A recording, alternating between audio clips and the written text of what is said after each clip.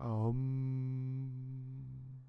All right, welcome to the Danimal Kingdom. So today, I'm going to be talking about how I passed the AWS machine learning specialty in only three weeks. So this is my kingdom, and I will be hosting how to become a robot. So the machine learning uh, exam for AWS was different from any other like AWS exam because I didn't because it actually taught like I mean it didn't teach me but like it required me to know about machine learning kind of in detail. And I, I don't I didn't know anything about machine learning similar to like all the other exams I've taken. I didn't know anything about like big data or I didn't know anything about machine learning. So I went from zero machine learning to a robot mastermind AI genius deep learning gu- guru. So yeah, so I'm going to talk about how I uh, did that in only three weeks. So, I mean, I, I, guess I probably could have done it quicker if I, I guess, put more time in, just quit my job, you know. I do have a day job. but, um, yeah, so it kind of helped that I did take the big data uh, specialty exam three weeks ago to this day. but um, you don't necessarily need to do that. I feel like that probably would have helped a lot because a lot of machine learning, like at least 50% of it, is getting the data for the models that you want to train. Because if you don't have data, what are you going to train? You can't train an elephant without like a big leash or something. I, I don't know how to train an elephant, but but so yeah, I started with the big data. I mean, I took all the associates before as well, or all the AWS associate exams as well. Uh, those would probably be helpful, like solutions architect, associate, or the developer associate. I would take those maybe first if you're not going to go for big data associate. Um, but it, you don't really need to take any of them. There's no requirements for the machine learning um, certification. But I feel like it was harder than the big data specialty exam. And that, that's saying a lot because that one took me um, four weeks to study for. I, I have a video on that one. I'll, I'll post in the description or something like that. But yeah, I feel like it was harder, even though I took less time to study for it. But maybe it was harder personally for me because I studied less for it. But I don't know, it's hard to say. So yeah, I took big data first. And then I started with the typical thing I do for these kind of exams, these AWS exams. I go through all the like the video content for them that like is public and not public like Cloud Guru and then there's also the reInvent sessions uh, that have a lot of information on all these machine learning services. So there's SageMaker, there's like AWS Rekognition, um, like which will show like uh, Rekognition can do. Um, there was some questions on that in the exam. It can help. It can basically like you get videos and you can help like see the intent of uh, those videos. I don't even remember. I don't even know how I passed this exam.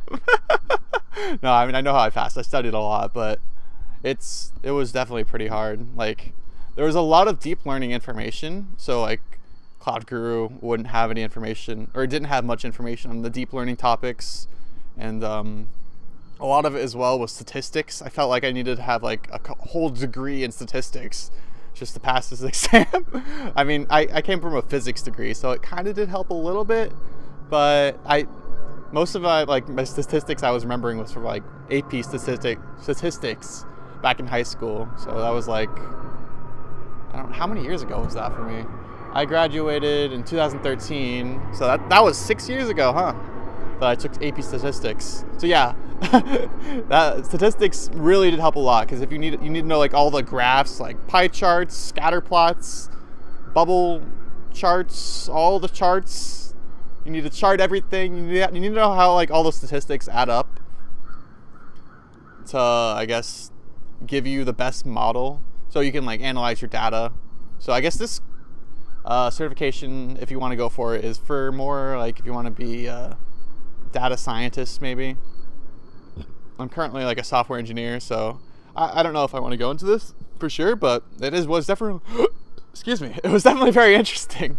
having a lot of gas. I, I just came from the exam, so I'm I'm just glad I, glad I finished it. So yeah, after I um I took the Cloud Guru exam. I, took it twice. First at 1.5 times speed, then at 1.75 times speed. Um, so I did that maybe in the first week or two. And then after that, I read a bunch of the FAQs. I looked at the documentation.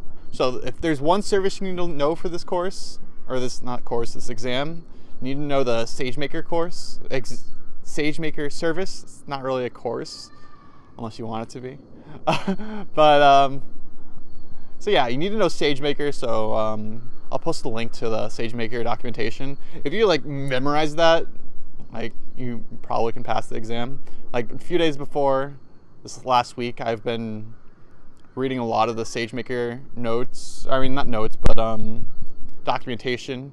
So all, in the SageMaker documentation, they have all the algorithms that it supports, which is at least 10, I think it's 15 or so different algorithms, and a lot of those were tested. And then there's also algorithms that weren't even tested.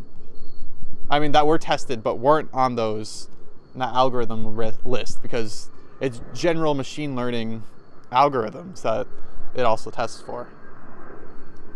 So yeah, I, I would recommend studying the eight, uh, SageMaker.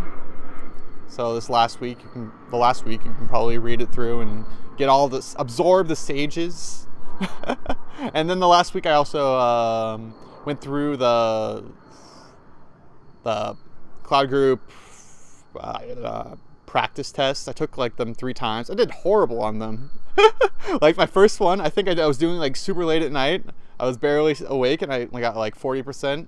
And then like the highest I got was like 70 something percent and then that was like I took it three times. So the third time I basically memorized all the answers and still only got like 70 or something like that. So yeah, maybe it was 60. But um, then after that, I took the Linux, Linux Academy course. That one was I feel like a lot better than the Cloud Guru because it went into more detail on different topics and kind of more in, in depth on the machine learning maybe a lot of that was not needed, but it definitely feel I feel like it helped a lot. I don't know if that was because I took it last or because it went into more depth. But yeah, I, I only watched that one um, wholly like fully once, and then I took the practice exam at the end, got like a 76%. I was confident enough with that 76% to take the real one. So you need a 75% to pass. I don't I don't know what I got in the real one yet. I didn't check, but I passed. So I mean, it said at the end I passed. So I don't know. It's probably like at least has to be above 75. So yeah. Um, how what I think I got on it? Probably like 80 or something like that. I don't think I did that great. There was a lot of questions I didn't even know. Like I don't know what dropout is. Like that was a word, and like, are, is this where you drop out of college? I don't even know what dropout. I think dropout, how it relates to machine learning. But yeah, there's study your dropouts.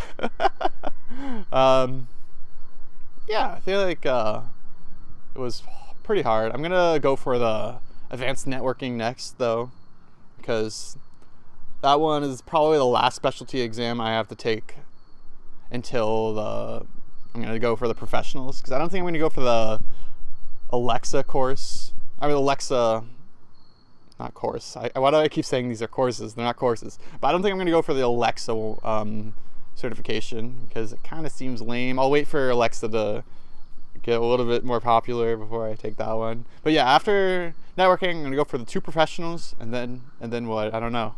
I don't know what I'm gonna do after. Maybe I go to like, uh, I take the Google certifications and go for the Microsoft certifications. Then I make my own certification who the hell do you think I am? I'll just take them all. But, uh, all right. Uh, thanks for watching.